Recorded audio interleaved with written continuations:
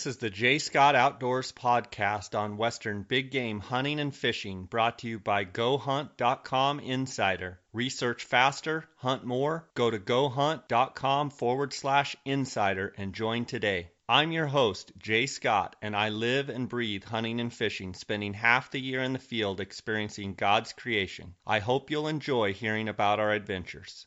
Guys, welcome to the Jay Scott Outdoors podcast. Today we've got a great episode talking about big antelope bucks.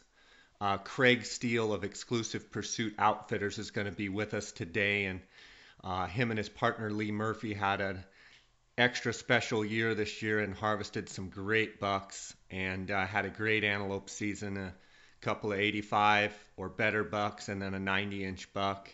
And uh, it's going to be a great episode to hear how their season went. I want to thank you guys, the listeners, for tuning in here at the Jay Scott Outdoors podcast.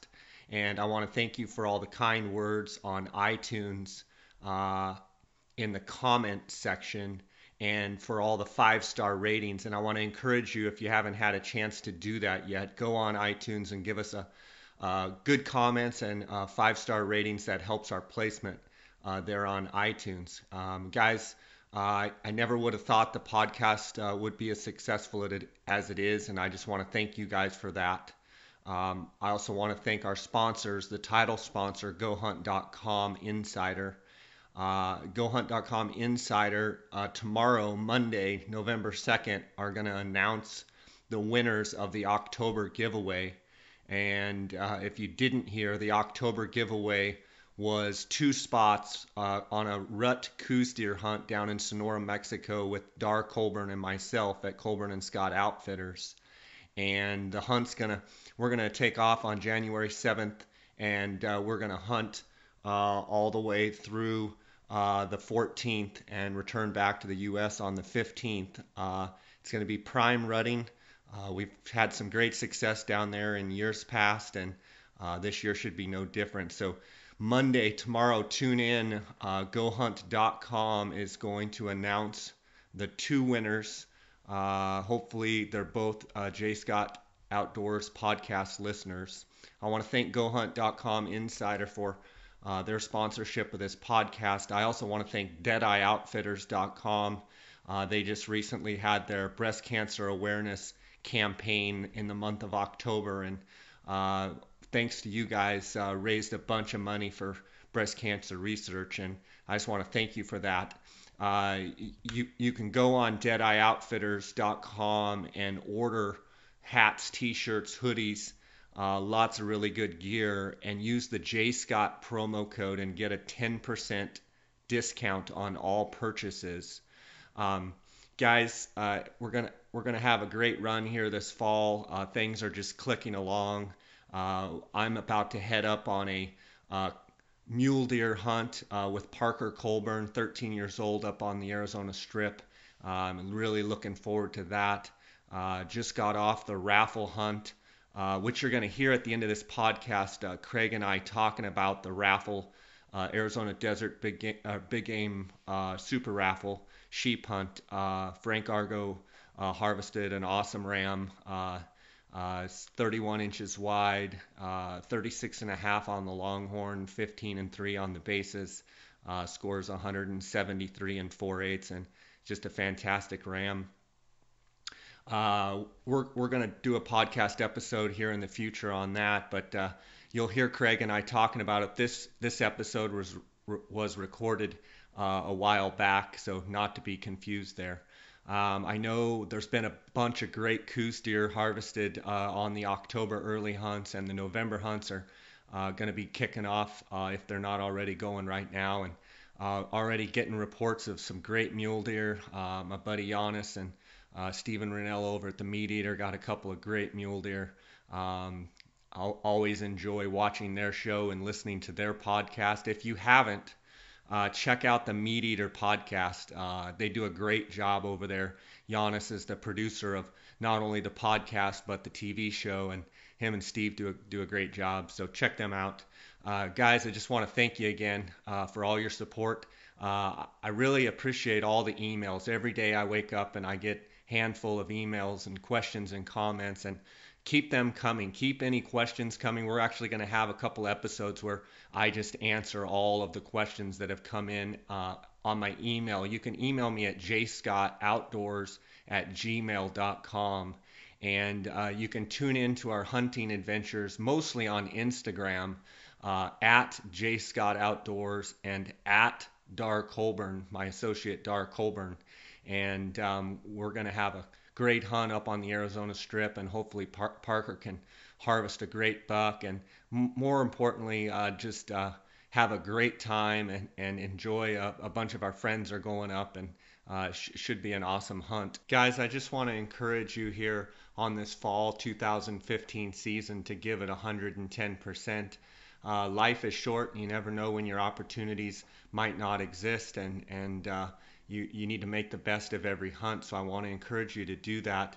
You can follow along, like I said, on Instagram, also on our Facebook, Jay Scott Outdoors, YouTube, Jay Scott Outdoors, and on our blog, uh, jayscottoutdoors.com. Guys, let's get right to the episode with Craig Steele.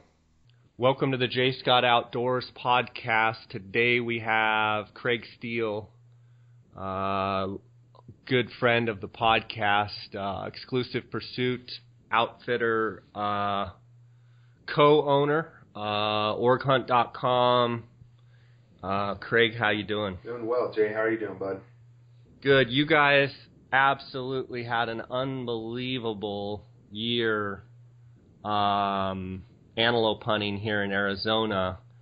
Uh, what do you have to say for yourself? I mean, I'm looking at some of these bucks on Exclusive Pursuit Outfitters um, Instagram, you guys slayed them. We we did well, man. We you know antelope in Arizona as far as rifle, you're gonna you're gonna kill them. You know, it's just a matter of finding the right buck. Um, you know, and the archery hunts are are always an adventure, but uh, we did well, man. We've been very very blessed. To, you know, there's a lot of work that goes into it, um, but you know, I know we have a pretty good crew between uh, me, Jimmy, and Lee as far as doing doing antelope hunts. We we really work our butts off. And funny thing is, is I'm the least experienced as far as in, not necessarily bow hunting, but field judging and and and uh, and uh, you know rifle hunting um, out of the three of us. And uh, I I learn a lot hunting with those guys and and making mistakes and and succeeding. You know, I talk to Eli Grimmett a lot too and share stuff, and um, it's antelope pronghorn antelope hunting. I I really enjoy it.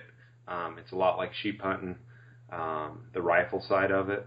Um, I really really enjoy looking over bucks and trying to be accurate, and uh, it'll really really mess with your mind, but uh, it can be a really fun hunt. So yeah, we had a good we had a good year yeah, a bang up year. I mean, I'm not an antelope hunter um, at all. Um, you know, I saw him a bunch in Unit Nine this year, and honestly, I don't know that I slowed the truck down.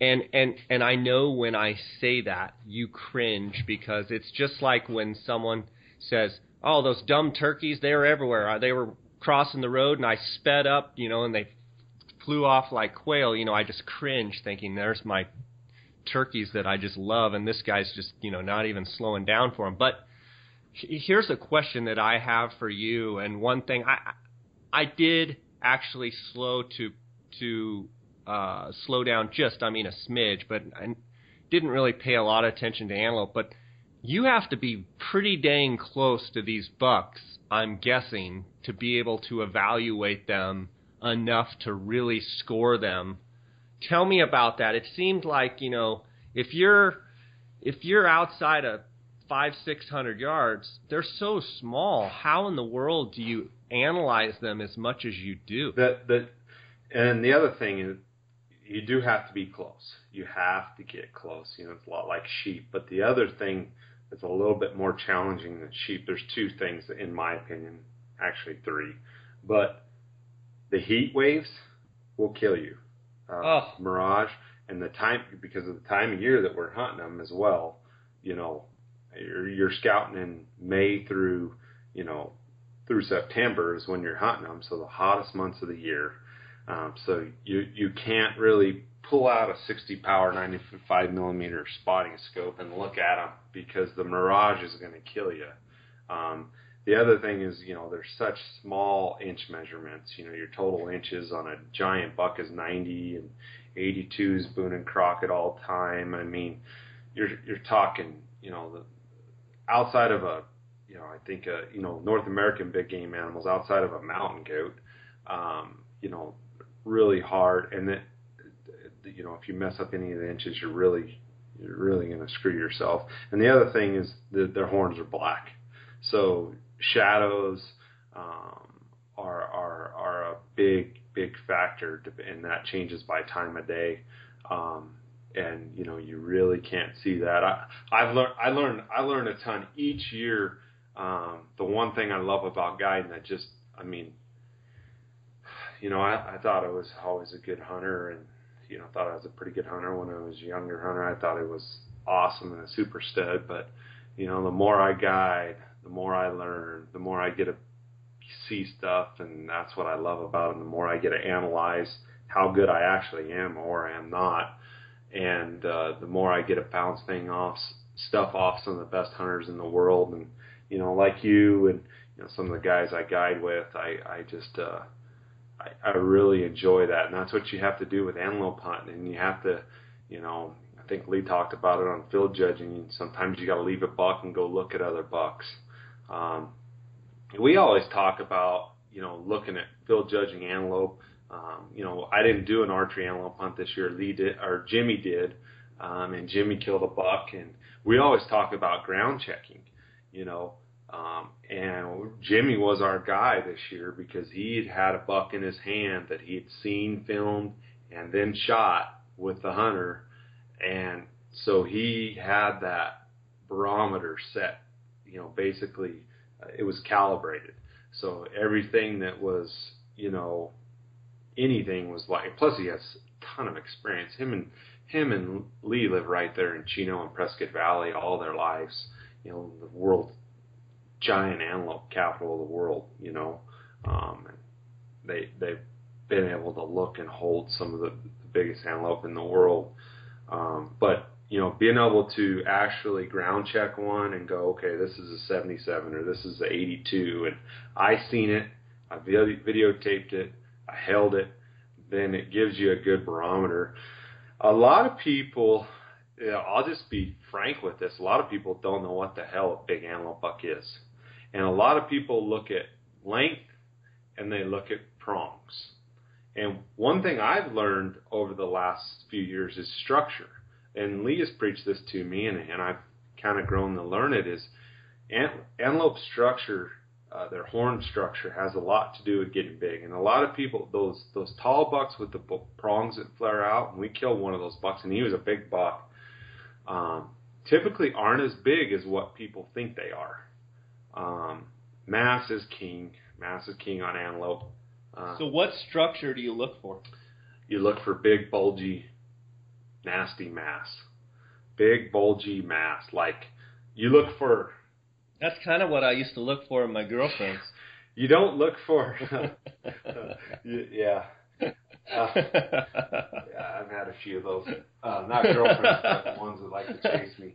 Uh, you know, sure you if do. you look at your cell phone, you know, like uh, you know, whatever smartphone you have, you know, sideways mass there is is big, but then you look on it from the from the from the edge of it, it's thin. Well, you want to look at an antelope that has like a cup, you know, that is round, bulgy, and that mass right there tends to get bigger in in my experience. And the other thing is, man, I've learned this a ton this year, and and not and we talk about it. We talk about it with elk. We talk about it with sheep. We talk about it with all the animals. Body size. Body size. The, the antelope's body size vary quite a bit.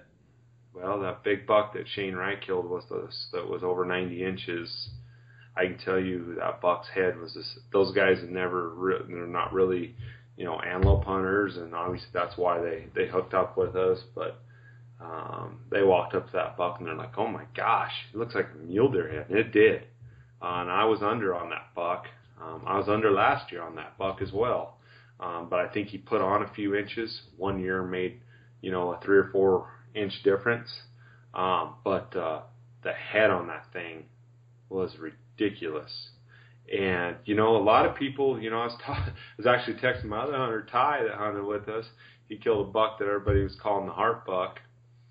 Um, and we can go into that story too. But uh, anyway, everybody, I've had probably ten or fifteen people text me how how big was that big buck you killed, and uh, you know Which one it you killed? two big bucks that I was gu- guided. Um, it was actually my hunter that I took out. Um, both those big, both those bucks, um, uh, were killed within a week or two of each other. Um, and I post them up, so it was like, yeah, which which which one? And I always say the buck with the big prongs that was shaped like a heart, or the other buck, because the other buck, the the giant buck, he didn't, you know, he had a just a, a shape he couldn't really describe um, because it was an antelope buck, I'm you know, and and everybody asked him the big buck with the big prongs and heart shape, and that's So I'm looking at the pictures right now, Craig, and I know nothing about antelope, and I see one that's prongs flare out, Mhm. and he's and he's heart shaped, and then I see a buck head on that you don't even see his prongs; they're in line with with the base, if that makes sense, with the horn. And so I assume everybody's asking about the one that's prongs flare out. Yes, and and that's what people see is they see the flared out prongs and they automatically think those prongs are seven inches, and when those prongs are actually just flared out, you know, um, they they do they look big, and that buck had smaller bases than what I thought, you know, and, and he was way smaller bases than what you know eight or nine other guys thought that were chasing him around. Um, everybody, you know, I thought that buck was 87 um, and everybody else thought that buck was over 90, What did he turn out to be? uh, 85 and something gross. And do you think that's because his bases started out smaller than what Yeah. everybody thought a buck of that size, and then when you extrapolate that to every measurement, all of a sudden it's kind of like with sheep. You're like, uh oh, Yeah. his bases are smaller. He starts out smaller, and so he's not going to be as big as we think. Do you think that's why a lot of people had him well over 90 inches? Yes, ex- exactly. And, and his prongs, they they thought his prongs were a lot bigger.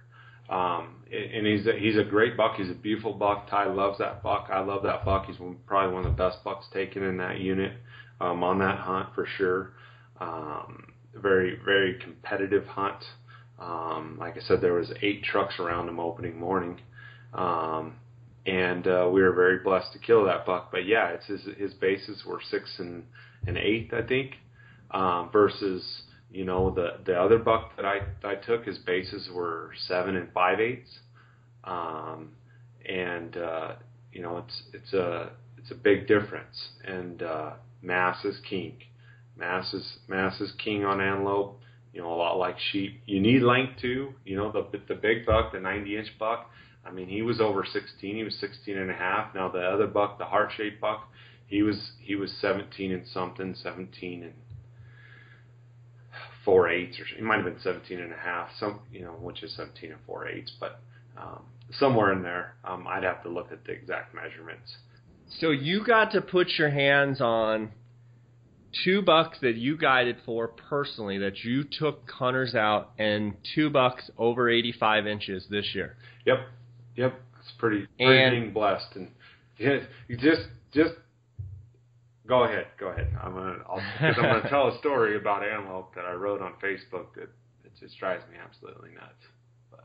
Okay, so then the 85 inch buck was first and then the 90 inch buck was second. Yes, My question is you had what you talked about is you you had the calibrator, you had your hands on the 85. yes, you had just gone from that hunt and you went to go do the other hunt. When you saw the 90 inch buck for for the well, you'd seen it already, but when you saw it after having that 85 in your hand, did you think bigger, smaller, or right what I think he is? I thought 86 inches to 87. And what threw you off there? body size? The mass? He was all by himself. Gotcha. body size. And then I uh, I lost him for 24 hours, and I found found him the night before the hunt.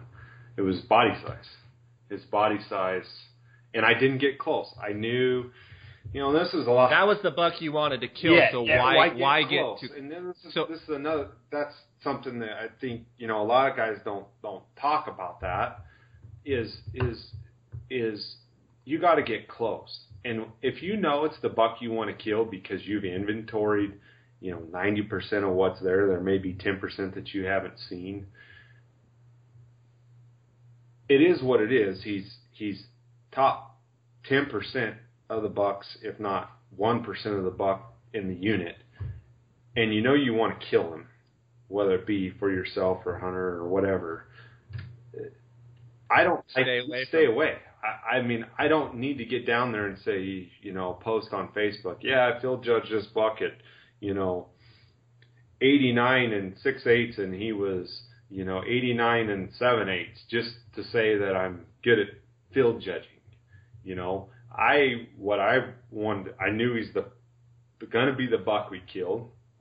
I knew he was, you know, a beast, and I didn't need to get any closer. I just I didn't even want him to know I was even around, you know, and and that's kind of what goes into it. And I know you're the same way. I mean, it's just like if we go find a, you know, a ram that we think's 172 inches, you know, you know, we're probably Stay away from. yeah. I mean, Don't you think people get cute though? I mean, and I've gotten cute sometimes in my own and trying to get better video, trying to get better pics instead of just stay away. Well, when it's that close to the hunt is when, in my mind, you don't want to get too cute. You know, when you're when you're the the day before, you know what I mean. Um, two days out, you know, and if you're a month out or something, you know what I mean. You can get a little bit cute, you know. But when you're the the day before, and you know, I I just I'd prefer just to stay back, and that's kind of how it was with that buck. And he he actually ditched me.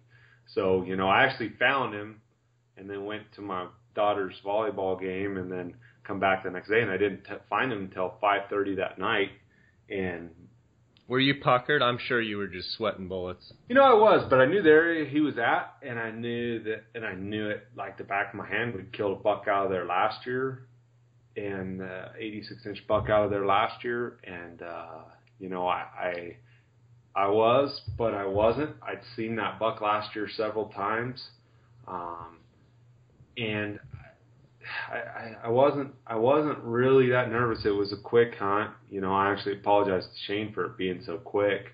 It's the quickest hunt I've ever been associated with. But I actually had, you know, two years of waiting to get this buck killed, and you know, And isn't that also you had another big buck last year that you had videoed and a, and a, another hunter had killed it and you shared the story I believe on one of your social media. Yeah, that buck Uh, is a buck I called Nobby. He was he was 89 and six eighths, um, and I'd seen that buck for three years. Um, I originally thought he was 86 to 87, and Lee had looked at him. Lee and I had looked at him a couple times, and you know, there was times we could have went on the raffle. Well, actually, we we talked to the we didn't talk to, but we uh, got a hold of the raffle hunter, um, and you know, but nobody really responded. We didn't want to, you know, really, for lack of better terms, pimp the buck out. We were at, I was actually hoping one of my best friends was going to draw the tag because he had so many points and he never drew it. And uh, the guy was able to smack that buck, and he's a great buck. I actually never even got to hunt the buck, you know, as far as you know, with a hunter or with my family or for myself. I just seen him, you know, kind of like this. I did. We I had an opportunity to kill this buck, this 90 inch buck last year. We call I we call him the heavy buck is what we call him. Um, and uh, the buck, the hooker two buck, the buck that we in, decided to take, he was an older buck, and I thought this buck could put on, and he did put on. Um, so I'm, I'm I think he probably would have been 86 to 87 last year, um, but he definitely put on some inches this year. I could I know when I seen him this year, he looked bigger, and I think I text Lee that or I text Shane that. I said I think he looks bigger, but you know, I knew it was the buck that we were going to kill, you know, or try to kill. So was, does a does an antelope buck, a big buck like these 85, 90 inch bucks, when you see them at a distance, do you know right away that it's a big buck, or do you have to examine them to go, that's a big buck? For me, it's 80 to, for me, 80 to 90 inches you can kind of see from far away. But for me, I don't really know until I get in there to about 300 yards, depending upon the heat waves. Um, and, really how tight, Craig? How tight of a home range do those bucks have? So if you've scouted out a buck, I mean, will he go a mile either way, or will he go 500 yards? What what kind of circle do they I've have? seen bucks. I've seen bucks from year to year be you know several miles. You know, you know, seven, eight, ten miles away from where they were before. But a lot of times they have a pretty tight home range, just like this big heavy buck. Um, there was actually not as many does where he was at, uh, and more does um, in another area about two miles, three miles away. Um, I, I seen quite a few does in there, and he. I actually went back there several times thinking he'd pop up there, and he didn't. He was right back where he wanted to be, and he actually transitioned over because we took the other buck out of another little pocket in there. He actually was going in that other buck's area now. Um, so he he was he was right in there. Now I'd missed him several times. Um, you know, this buck was living in the areas that was kind of a little bit like the mule deer. In fact, he was browsing on Cliff, Cliff Rose um, the morning we killed him. Um, he wasn't eating grass; he was browsing. Um, and uh, yeah, so and he had one doe with him that he picked up um, that night. Otherwise, he'd kind of pulled off and was by himself. He he was a he definitely. I mean, last year he was. I seen him se- several times, and I, I honestly, if um, uh, uh, John and a guy named Tiger actually had an archery uh, antelope hunt, and I actually was able to get a hold of them, and they'd said they'd seen him on the antelope hunt because they'd killed a buck out of there that I'd actually filmed. So I gave him some pictures, and I know him really well. Um, they'd seen him, so I knew he made it through the. Or I was pretty sure he made it through the archery hunt. Um, I wasn't sure he made it through the muzzleloader hunt, but he did. I mean, there's there's still and I, I filmed just the other day. I filmed the buck talking about leftover bucks that's in the mid to high 80s that he made it through somehow, you know. Um, but ran the gauntlet. It very rarely it happens. I tell you, in Unit 10, where they got hundred tags now out in the open, not very many bucks make it through. Um, hundred tags? That's ridiculous it, It's, it's, it's unreal because you're hunting antelope country. You're not hunting the entire Unit 10 you know. Yeah. So everybody thinks 100 tags. Well, that's a big unit, you know. Well, you're not hunting the entire unit 10, and they're out in the open, so it gets real competitive. That's the thing with Ty's buck, the heart buck, the buck with the flared out prongs. I think that buck was young. Um, and so he could have been a giant, I, I but of course, too much tag allocation, yeah. he's going to get killed. You know, and and you know, I, I've seen a lot of bucks like that. I mean, we killed a uh, Lee, Lee's hunter killed an 83, and then we killed a high 70s buck. Um, but but we we strive to kill mid 80s bucks, and I'm going to go into that right now about you know in everybody that calls up or everybody that I talk to that you know whether it be if I got a, one of my best friends, he's you know um, he's probably going to go to lunch with him here in a few minutes, but he he has 16 points for antelope. He hunts Wyoming. He's hunted Wyoming. His wife's from Wyoming. He talked about you know wanting to kill a you know, 90 inch buck before, and I told him, I said, hey, my mid 80s buck is an unbelievable buck. And, you know, he knows now from me talking to him and then guiding and whatnot. And, you know, everybody correlates wait time with the size of trophy that they could get. Well, we, and I posted this the other day on Facebook and, you know, I, I'm honestly small antelope don't really get me going, but big antelope, big antelope are cool. Like the, I mean, they are they are a neat creature. It's like a big sheep, you know. Um, a lot of people don't get going over sheep, but if you get the sheep bug, and you know, I love big sheep, you know, just like I love big antelope. It's kind of the same infatuation.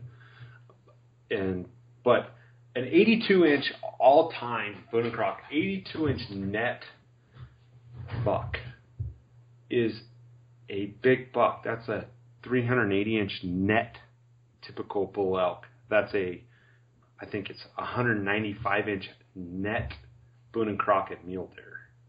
It's a 168 inch net desert sheep. It's a big animal. And it's almost passe or not cool to people talk about 82 inch antelope. It's almost like, oh, it's just an 82 incher. Well, we kind of get loose lipped, and Lee was telling me, but we kind of get loose lipped about how we go about field judging and then loose lift on social media, picture mail, and all this stuff, and you don't get official scores. And you're the one that put that in my head, and I was like, ah, Jay, what are you worrying about that for? Well, now I see it because people get loose lift, and then it diminishes the actual 82 inch number that an animal really is. And an 82 inch net antelope is big. So when guys call me up personally and and in Lee too. I mean, I talk about this with Eli Grimmett as well. Um, but when guys call me up and they say they want to kill a 90 incher, I, I'm like, well, how do you know there's a 90 incher out there to kill? You know, I mean, that's like a 90 inch antelope is like killing a 420 inch net bull elk. How many of those you see? Typical. You know, yeah. It, I mean, I, uh, I want to say something to one of your points, and one of your things that you said is you have 18 or 20 points, and and we as outfitters get calls all the time, and people say, "Well, I won't I won't shoot unless it's 400." I had a guy call me this year and said, you know, I, I won't shoot unless it's 400, and I said, well, you might as well call somebody else. Well, what do you mean? That's not a very good attitude. I said, that's being realistic. You're not going to shoot unless it's 400. How many of those have you killed? Well, I haven't. Okay. How many bulls with your bow have you killed? Well, I haven't. Okay, so you waited 18 years to get the tag. That does not mean that you deserve a 400 inch bull. That does not mean that you are entitled to a 400 inch bull. That doesn't even mean you're going to see a 400 inch bull. It means that you've applied through the state of Arizona that is hard to draw and you've had 18 or 20 years or however long it is. That means nothing. You still have to prepare for the hunt. You still have to scout for the hunt. You still have to either hire a guide, do it on your own. People's expectations are I, I have so many points that I deserve to shoot a 180 inch ram. Or there should be because I waited. Or there should be in my unit because I waited that long. So that so you know I waited that long, and it's like those animals don't care how long you waited for the tag. Yeah, there's they're they're they're out there trying to make a living and live. That's right. And trying to survive. They don't care about your 20 points that it took to draw the you know whatever tag of you know whatever unit. They could care less that's what I think is so nuts about point systems out throughout the West is if you really think about the point systems, we are nuts. I know you apply for multiple states. I do. We have bonus points. I mean, we're spending thousands of dollars applying for other states, just applying. The the crazy thing about point systems is is you're talking, and I'm going to use the term regimes. Not that you know there. I know game and fish officers wildlife department officers that are great people, and I know some that I don't care for. Um, so I'm not, you know, calling That's in bad, bad people or you know good people because I don't define it by the title. Um, but we wait 5, 10, 15, 20, 30 years for permits for this one opportunity. We're going through different regimes and different cycles of genetics and management you know, they, you know, the game fish reinvest different commissions, yeah, commissions. different ideas, and we're we're we're expecting, you know, Arizona may not even be a trophy elk state in, you know, ten years. You know what I mean? But we're we're all nuts because we build these point systems, and you know, to to basically put the odds in our favor as we get older to to to put the odds in the old man's favor when really it's like we're almost you know we're almost like uh, you know putting a you know buying a gun that was built you know yesterday and then putting points in there to raffle it off for 30 years later. That gun's not even going to be we don't even know you know technology is going to far surpass it. And that's the same thing with the the hunts is is we don't even know you know i mean the the non-resident cap could go down it could be like new mexico where you know it just drops or yeah, anything can change you know yeah. all that all that can change and and it's just amazing that you know we we do we correlate it it is because there is some correlation between you know, the best hunts throughout the West and and and you know the the the draw odds. You know what I mean? But those change. I mean, how often how often do we we get those calls just like the Unit 10 early rifle bull tag? You know, 100 permits. And everybody is wanting a you know, everybody wants to shoot a 390 plus. I will say something to interrupt you there, and I, I'm I have a habit of interrupting people, but I just can't take it any longer. The 100 early rifle bull tags has absolutely decimated and ruined Unit 10. As a and I'm going to say that as the record. You can quote me. I don't care who you are. It has ruined Unit 10. What happens is you get 80, 75, I don't know what the exact percentage is, 75, 80, 90 bulls get killed most of them are older age class bulls, and it has wiped Unit 10 out. I know I'm already going to get a few emails. There's giants in Unit 10. Okay, there's still some good bulls Those in are Unit from 10. the 20 year old kids that were but around. From 10 years ago, they have absolutely ruined Unit 10 as I used to know it. When I hunted there the last time, when I had a tag in 2005, it was unbelievable. And they everybody is going off of, and that's a part of what you're talking about with building points. There's some of these people that have 20, 22, 23 points. They're going off of 10 years ago, Unit 10 hoopla. They don't realize that the last, what is it, five years, there's been a hundred early rifle tags. Yes. And it, what you do when you have that many early rifle tags, you decimate the older age class bulls. And that, Decimate that's not even counting, you know, you know, so that way with the antelope, you know, they're just, I mean, the the top is getting just The cream is coming off the you know, top. so you know, for all of us, which I think about ninety percent of us that wait for these, that really want these quality experiences, it's it's a catch twenty two, you know. Here here, you know, here we are, you know, we want a quality experience, we want to, you know, we want a place to hunt to ourselves on public land like it was 15, 20 years ago. Um, but then we want to tag. So, you know, Fish and Game or whatever does these hoopla surveys that basically, you know, are the psychological evaluation of what you want. And then all roads point to, you know, this survey that's going to say, you know, the outcome's going to be, yeah, everybody wants a tag. So we should bump up tag numbers. Well, of course, everybody wants a tag when you do this survey that psychologically evaluates and twists and turns. Ultimately, we all want a tag. But I guarantee you, when quality goes down, not everybody's not going to want everybody. to tag. I mean, you see that. You see that in the demand for the best hunts, you know. And what what you're saying is like the reputation. That's where Go Hunt, you know, comes in with being on the web and everything. Is you can change that information quickly, but it takes years of marketing, and then you know the outfitters, you know, they live off a reputation that was ten years ago, you know, and and and you know, you you get this you know, Unit 10, uh, what, I mean, there's other units as well, you know, that, that are the same way. I think you, you know, in my personal opinion, even the Unit 9 hunt's gone down. oh, it's the it's gone down dramatically. The cream has been taken off the top, and go ahead and save your email. Don't even type. I know there's still a few big Yeah. bulls there, but the quality overall The in quality Arizona has gone I mean, that's, I mean, and that's where people, you know, they they draw the early rifle tag or they draw the antelope tag and they want the the 90 inch buck. And when you tell them, hey, we shoot for, you know, a great hunt and we shoot for you know 84 to 86, if we can get around that number, you know, then we're ecstatic. You know, an 83 inch buck, depending on how it's going, 82 inch buck is a great buck.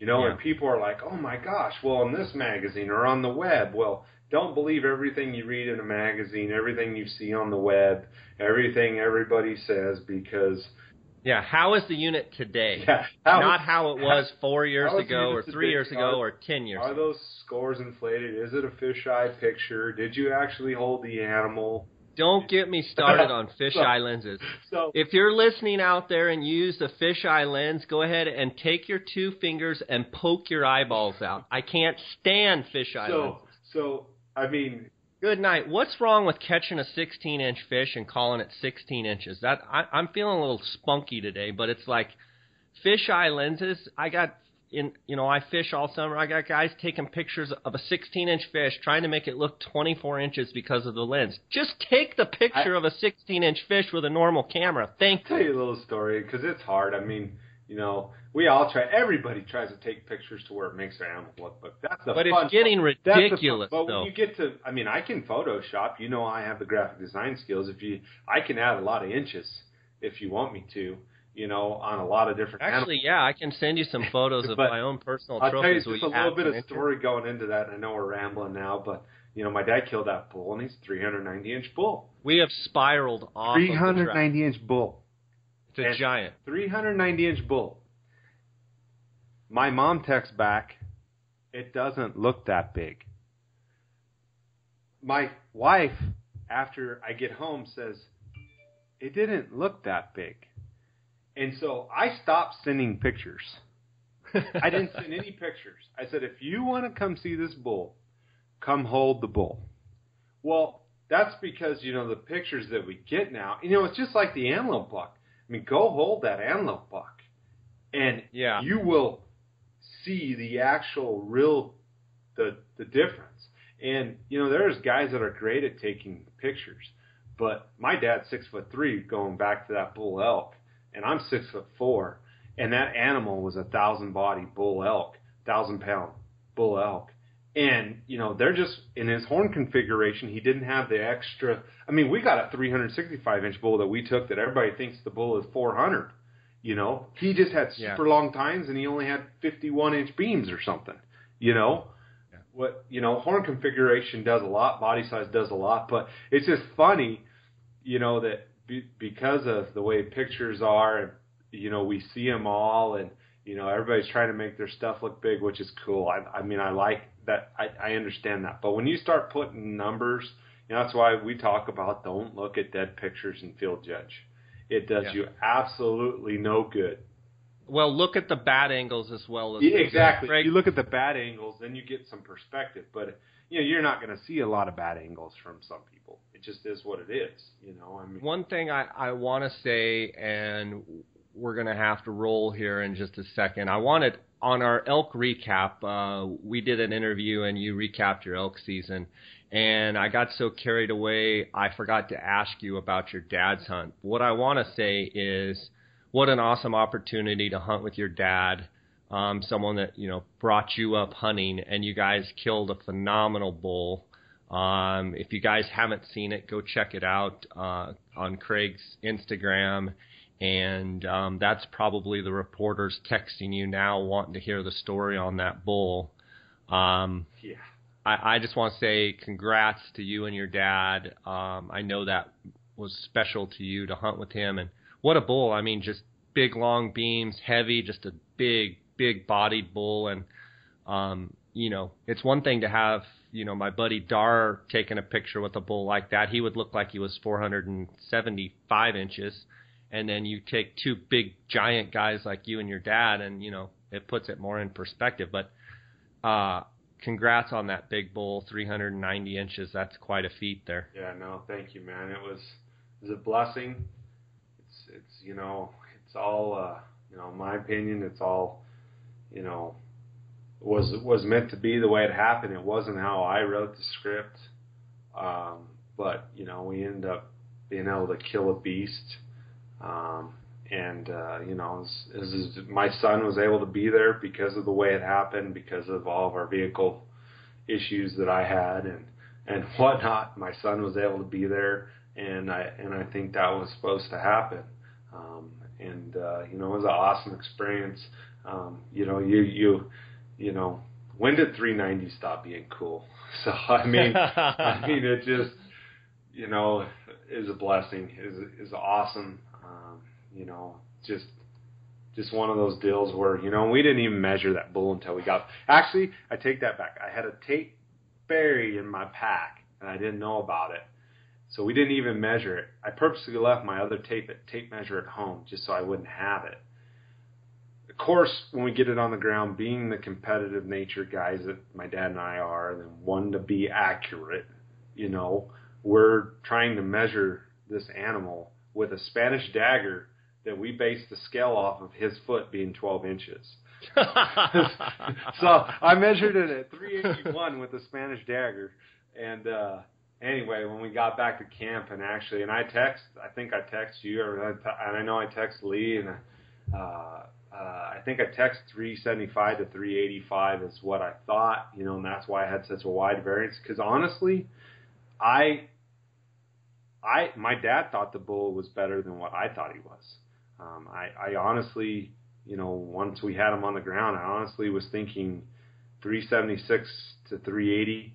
Uh, well, it's a big body. No, big body uh, throws it off. It's like Jason Harrison's bull last year in Montana. He had a horse body, and you know, I was thinking 350, 355 and it was 371. But It had a horse body, and it throws it off every time on no matter what animal you're hunting. Big time. Um, just awesome job. Uh, congrats on a great year. Looking forward to, to uh, hunting with you on this uh, super raffle uh, desert bighorn sheep hunt here. Uh, we're we're uh, going to be hunting over the next couple weeks, and uh, look forward to looking at some sheep with you.